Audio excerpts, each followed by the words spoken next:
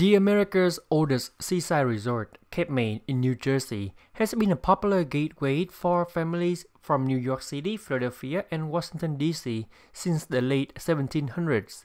But Cape May was never immune to hardship. Cracked by devastating fire, extreme beach erosion, swarms of mosquitoes, and intense competition from the surrounding areas, the towns and its residents struggled their way through the 19th and 20th centuries. During the turbulent time, players attempt to develop the Cape May into the queen of the seaside resorts.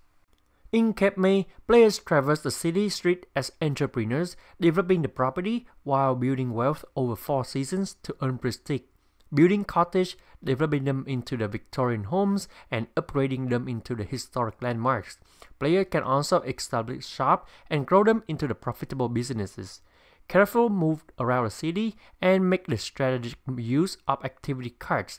You can also complete the bonus goals and then take some time to relax and spot the wildlife in the best place for bird watching in the northeastern United States.